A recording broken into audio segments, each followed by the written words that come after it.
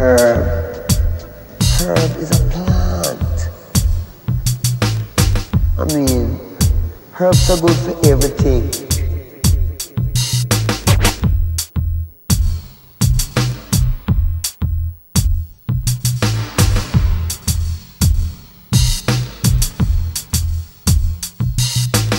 Herb.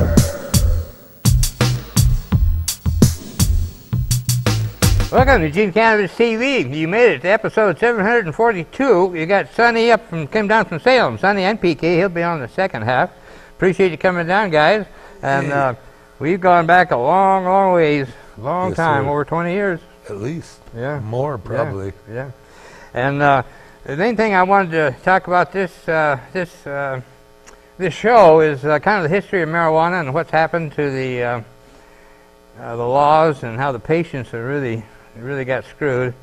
Uh, but a real quick note, I want to tell you next week is exciting too. We're going to have another guest. We're having a guy by the name of Pierce Glover, and he's with a hemp plastics container company. So I think that's going to be really interesting. We'll see what he's got to say. And uh, a reminder, you're always welcome to come on the show and be a guest. Or just come in and watch the production. Uh, we're uh, a real friendly bunch here, so I'd love to have have people come in. This is all about cannabis, you know. And so you got your cannabis story, I'd love to have you come on the show and, and tell us your cannabis story. Sonny has a cannabis story. Kay has a cannabis story. Uh, so anyway, that's uh, that's the main thing. And I got the chronological dates here and such of what happened, and, and uh, it's kind of interesting to look back on it. Well, the thing is, the medicine is good. Yep. And that's what we know. If you know and you can tell somebody about good medicine and how it helped you, tell him. You know, that's the thing. You know, we just want to know about good medicine. You know? Yep, definitely. Uh, that's it, it's interesting because in some ways, and look, I'm thinking we're going back to where we were Yeah. because it's legal now supposedly, but I, I say it's not legal because there's still penalties involved. Uh, When it's illegal, like tomatoes, that's when you can say it's illegal. Right. But regardless, uh, now medical marijuana patients, uh, the Oregon Medical Marijuana Program is pretty much wiped out. But patients can go back and do what we did back in the day: get to know people, get to meet a grower, meet a couple growers, and and inter and just uh, uh, inter- interact. Uh, Patients should be able to get some medicine, though, Yes. and get some help, and get some medicine that they don't have today, get have tomorrow, and that they can use tonight. You know, that's what they need. They need some. They're sick. You know, they need some help. Oh, and they don't got no money. so They couldn't go to work. You know, these are the patients. They're sick. They're hurt. They don't work. You know, and they're not faking it. You know, I went through this whole thing with somebody the other day about patients, you know. And then they go, Well, why aren't you guys down at the Capitol? I said, We already went through this to change the law. You know, nobody knows, Dan, about the, the Army, you know. So I had to explain the Army to them. And they go, Well, why did you guys got a, one of those things that Trump got? You know, I said, Well, Trump ain't going to give us no, no, no Army, mm-hmm. you yeah, know. Yeah, really. Yep. Well, believe it or not, 1973 is when Oregon became the first state to decriminalize possession of small amounts of marijuana, making it a ticket more akin to a traffic offense. It was just a, a ticket, basically. It wasn't even a misdemeanor. And that was Governor Tom McCall, a real hero of ours. And then we waited 25 years in 1998, Oregon's approved the medical marijuana for medicine use. The program allows people with certain qualifying medical conditions to grow their own marijuana or have someone do it for them. Patients in the program are allowed to possess up to three mature plants, four immature plants, and up to one ounce of marijuana. And see where we're at today? We still have places where they won't let that patient grow their own medicine. Yep, yep, yep, yep. Yeah, the, well, the, I just I was going to get to it later, but yeah, uh, the, in my opinion, the Oregon legislature as a whole has never believed that it's medicine. They've never believed it, and they've been wanting to kill the Oregon medical marijuana program ever since it was implemented. And they finally are getting there, but that's been their goal. They never helped the patients over the years. Remember how they kept raising the prices? Well, the- for the to make it out permit, of, you know, out of the, and then putting the money into their treasury instead of getting it back to the patients that over were overpaying. You know, they kept their money. It's just disgusting. But anyway, uh, so then uh, then six years later, there was a ballot measure that would allow retail sales of medical marijuana to patients, but that was defeated. That was 2004. Then 2005, the Oregon legislature increased the possession and plant limits under the medical marijuana program. At that time, uh, patients could possess up to 24 ounces and grow a total of six mature plants and 18 immature plants. The legislature also creates a grow site registry and a card for people responsible for the grow site. The law includes a provision allowing growers to be reimbursed for the cost of utilities and supplies, but not labor. So uh, that was at least to, to get some improvements at that point because the uh, the, lim- the uh, limits on Oregon Medical were not workable. So at least they changed that and it helped quite a bit. Uh, six plants for each each medical each patient. And then 2010, for the second time, Oregon voters turned down a ballot measure that would allow retail sales of medical marijuana. Then in 2012, the voters rejected Measure 80, a marijuana legalization effort that set no limits on personal possession and cultivation for 21 and older. 2012, Oregon lawmakers approved a medical marijuana dispensary registry system regulating an already robust retail market for medical cannabis. The legislature also repeal, repeals the law that the driver's license of a person cited for possessing less than an ounce of marijuana. So that was yeah that was a good thing because uh, that was one of the things if you got caught at that early back in the early days that was part of it if you got caught with possession it may be only a ticket but you still they could take your driver's license and they never uh, I I went through that but they never took my license. I don't know what the deal was but anyway uh, 2013 the Oregon legislature passes a law allowing local governments to impose moratoriums on medical marijuana dispensaries for up to a year. This is when it started. This is when they started letting the cities uh, refuse to uh, have any marijuana in their city. Lawmakers also required the Oregon Health Authority to draft rules addressing labeling and packaging of marijuana-infused edibles to make them unattractive to children. well, now, how come every time we go and pick up a little package at the dispensary, they give us a little piece of paper that says it may be harmful to the children every time, but we can't, when we go pick up alcohol, we can't pick up some kind of some kind of stuff harmful to the kids. Oh yeah. You know, oh, even though it's the same people, the alcohol and tobacco, handling the same pe You know what I'm saying? Yep. I mean, see, this is where it's good for the gander, but it ain't good for the goose. See, Mm-hmm. Yeah. this is what's not right, you guys. This is what is wrong. They're feeding, we're feeding, it's like what's on the vote. It's what's on the vote, this 110 vote that's going on. Yep. I mean, me and Chip, I don't know if you guys talked about it. I didn't talk about it with Perry. And then when I was voting this week, I said, Perry, you know, about the vote. And I said, I'm here at the vote and I'm voting right now. And it's 110, you know. And he goes, Oh man, I don't think we should put no more money into it. I said, No, we're already giving them enough money. you know, did you guys see what I'm talking? Because they want to take more money out of the cannabis. You know? They Yeah, want- yeah, yeah, definitely. Uh, they want to take more money from us, from the patients. You know, that ain't right. That ain't right, you guys. what do you think of the mushroom initiative? I think they should allow people, man, you know, if people have to do it, you know, let them do it. Yeah, uh, that's uh, Let them do it. Because if they don't want to do it, they won't be back. You know, they have done, you know, enough exploration and that kind of stuff. And you know what? It only takes once or twice and they will understand what's going on, especially in the human brain. I Oh, yeah. And I'm missing half of mine. You know, and these are the things people don't understand. You know, there's so much going on out there. You know, and we have a lot, and we have a lot to be thankful for. And we have so much, and I thank you for the show.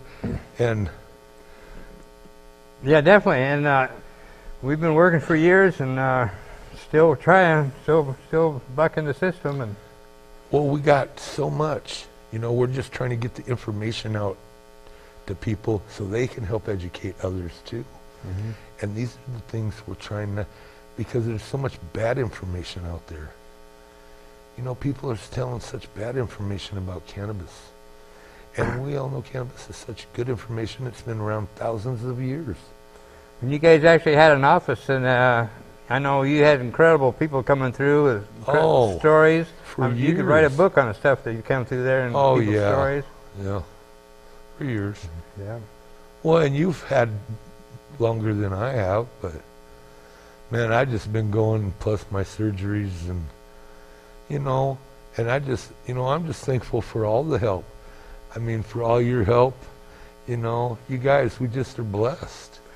Well, yeah, it's been a long pull. So that's something I forgot to mention beginning. If nobody knew already, uh, Sonny and PK are both medical marijuana patients. So they know what they speak. They've been at it for many years and had had the Mercy Centers uh, clinics uh, in Salem. Uh, helped multiple. You couldn't even guess how many people you helped.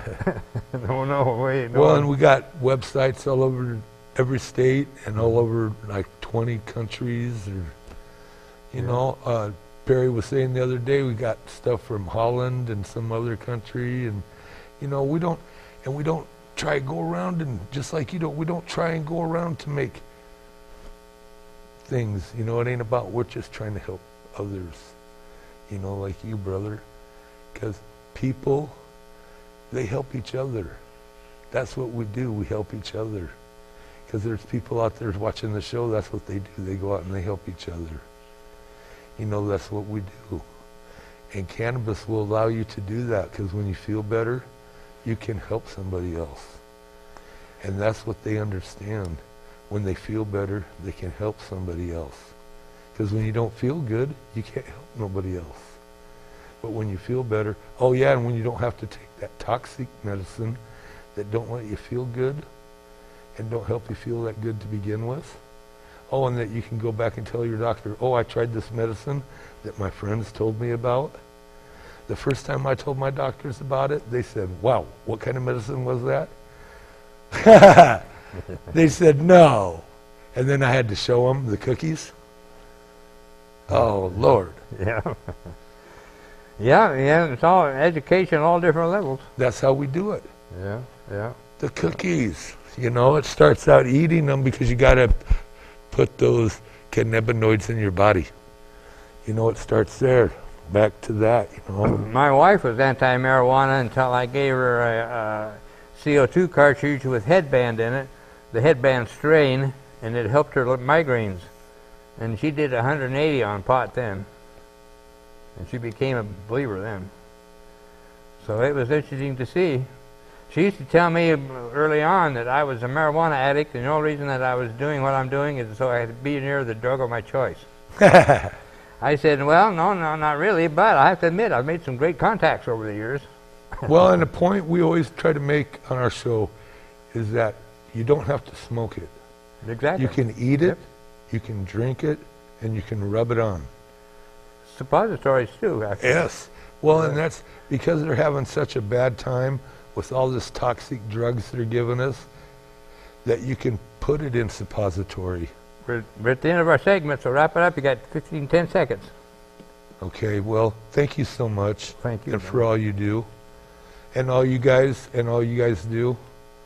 Well, because we don't. If you're an adult who enjoys a good beer, there's a similar product you might want to know about. One without all the calories and serious health problems. Less toxic so it doesn't cause hangovers or overdose deaths, and it's not linked to violence or reckless behavior.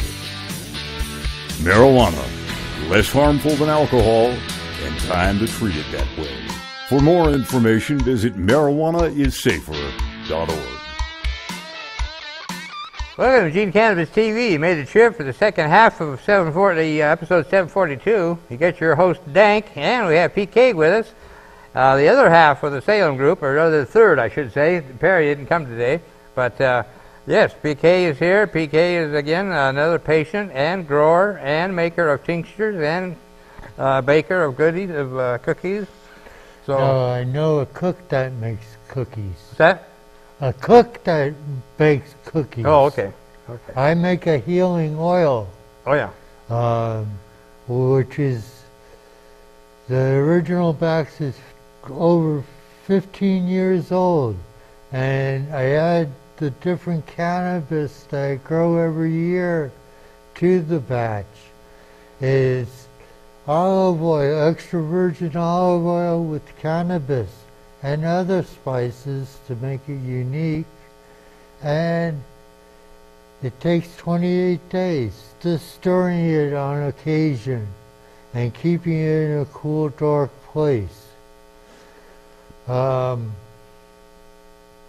Now you use, excuse me. You, now you use this for uh, topical yes, and use it internally too. I think, right? you can you can eat it raw because it's virgin olive oil. Mm-hmm. Um, you can add it to your recipes of cooking.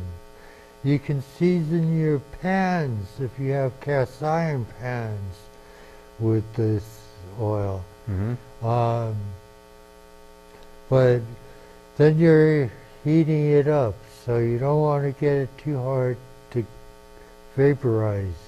Right. Right. Oh yeah. Oh, but yeah. there's thousands of different chemicals, I believe, in the cannabis plant, from the root to the beautiful flowers. And I've been showing the people of Salem how to grow a cannabis garden as naturally as you can. Mm-hmm. Yeah, yeah. It's uh, education. That's what it's all about. That's the main thing. Why I hope always wanted the show to be is education, so people can learn from from others. And because of this man, we have the show in Salem um, to bring the information. But the most important thing is get out and vote. And felons can vote in the state of Oregon. So you're not please, discriminated. Hey, felons can vote. Enjoy life. We need to have the right people in office. Um, like, I'm a medical patient uh, because of Sonny. Um, cannabis is a benefit. I use the healing oil for my carpal tunnel and the other aches and ailments and bug bites that I've gotten. Um, shared it with a few few people in my life. Hey, cannabis is a medicine. You don't have to smoke it to enjoy the benefits of this ancient drug that the government has been giving reefer madness propaganda on the evils of cannabis and hemp. If we had hemp, forests would be saved. You could plant a hemp maybe twice a year. How long does it take a forest to grow? At least seven years before it, but they, they take toothpicks now. Right. Oh yeah. Um, Yeah, they say that timber is a renewable resource. Well, maybe, but it takes 50 years or so to get back to the size that they need. So uh, it's, it takes a while. Plus, the nutrients, once the, the old growth is gone, and the new trees are uh, there's less nutrients because the old the old trees took a lot of the goods, a lot of the stuff out of the soil, you know. But anyway, uh, yeah, it's uh, it's a heck of a dilemma. But uh, patient Reed, uh, he says, if you have any extra cannabis seeds, no matter if it's hemp or cannabis, throw it on those burned areas, and hopefully, with the rains, they will sprout, and then we could start refertilizing the the soil from Oh, yeah. the. I've said, I've said that for years. Save your seeds, even if it's a bunk. Save your seeds and sprinkle them out in the gardens, around the post office, around library, city hall. Put them in the flower beds. You know, Johnny seed, Johnny Appleseed type of thing, only for pot. And uh, Yeah, definitely. Yep, that's part of the that's part of the thing. We got to always keep keep keep fighting. And by the way, I want to mention another something too, real quick. Uh, PK we've talked about in the past, but uh, PK uh, because of his uh, medical conditions, uh, people uh, he's been pulled over and accused of drunk, drunk driving twice. Yes. Twice, right? Yes, sir. Think of that. The courtesy of Dr. Leveque, Phil Leveque, as a witness, I got off on the first time. The second time, which is the same cop, police officer, they ridiculed him because he was having court troubles himself at the time. Uh-huh. Because he knew that cannabis was a medicine and it is benefited for us all. Before 1937, you could find cannabis products in your local store because it was good. But the big interest, the oil, the paper, the cotton, oh, this is going to hurt us because this is a cannabis shirt or a hemp shirt. Mm-hmm. Yeah, you, you, excuse me, you mentioned Dr. Leveque. There's a real hero. Dr. Leveque. Uh, and he was a hero, I mean, uh, not only because of marijuana, but uh, he was a uh, World War II veteran. And uh, he, uh, he was at the Battle of the Bulge. Fascinating man and uh, a real hero. he had a very interesting book. Oh, boy, yeah. Yep, and he had a heck of a sense of humor, too. Here, here. But he was, yeah, he was uh, one of our big losses. Uh, I thought about doing a show. In fact, that's something else I should do sometime. Set up a show and talk about some of the people we've lost, like our two Jims, uh, Jim Klahr and uh, uh, uh, oh, my mind went blank. Uh, Jim. Uh, uh, anyway, we've we lost some really key people, uh, especially our two Jims. Uh, I sincerely, believe that the reason that the medical is in such bad shape today is because we didn't have our two gyms. Uh, gyms, uh, those two gyms were absolutely incredible, did wonderful things. Uh, our Attorney General, uh, uh, Ellen Rosenblum, uh, is in office because of the medical marijuana movement, and Jim Gregg. I got his last name, Jim Gregg. Uh, he's been on. Jim's been on the show many times. Uh, he had uh, badly crippled arthritis and was in a wheelchair. Had to be horizontal most of the time, but he was still fighting, still an activist for legalization and medical rights. And uh, anyway, that's some of our heroes that we've lost in the past. So anyway, go back to who you're talking about. So I didn't. but I wanted to give well, credit. there's many uh, things that I hate to say. It's hard to say, but cannabis is uh, God's gift for us. Um, and we need every registered voter to cast their ballot. You know what's right. Yeah, I've forgotten where it was. If they found a, uh, they found a, uh, some, they found a body from thousands of years ago, and they found in their stash that they actually had marijuana buds in their stash. And these, I mean, this is way, way back. So it's been used for uh, thousands of years, literally. So yeah. So anyway, we were talking about legalization, and uh, we got up to about 2014. 2014, the, the Oregon voters say yes to legal marijuana. Two years after Colorado and Washington did the same. I always said that Oregon was the first state to decriminalize marijuana. We should be the first state to legalize marijuana. Unfortunately, it didn't come to pass. But uh, anyway, uh, well, when Measure 91 was passed, the medical marijuana patients were screwed because they said three times we wouldn't touch the the patients, and then when the the local stores were saying, "Hey, we don't have the stash to offer the regular people. Can we help help help ourselves into you?" And you don't see a patient store anymore in the neck of the woods.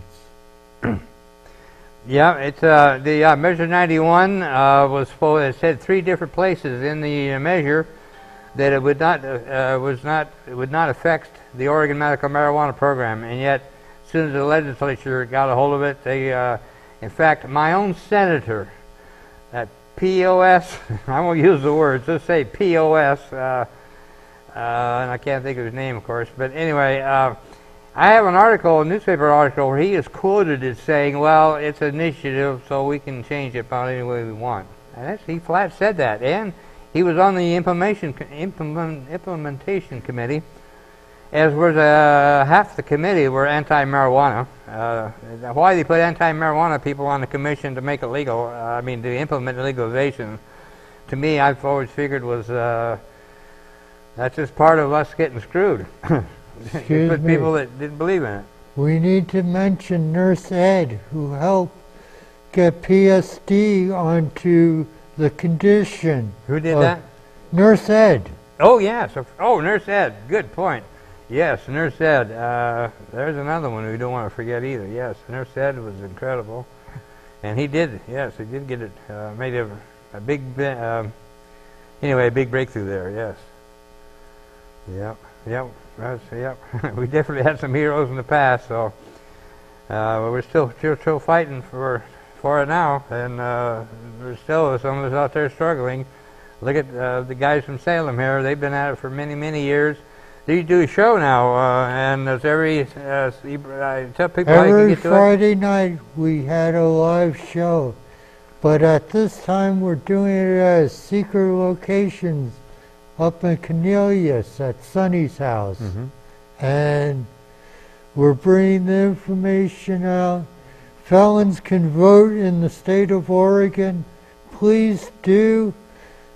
You rest of the people, please cast, cast your ballots because it does make a difference. That's right. So I really appreciate you guys coming down from Salem and making the trip again.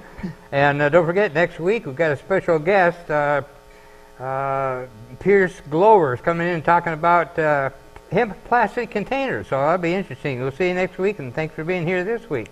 We'll see you then. Thank you.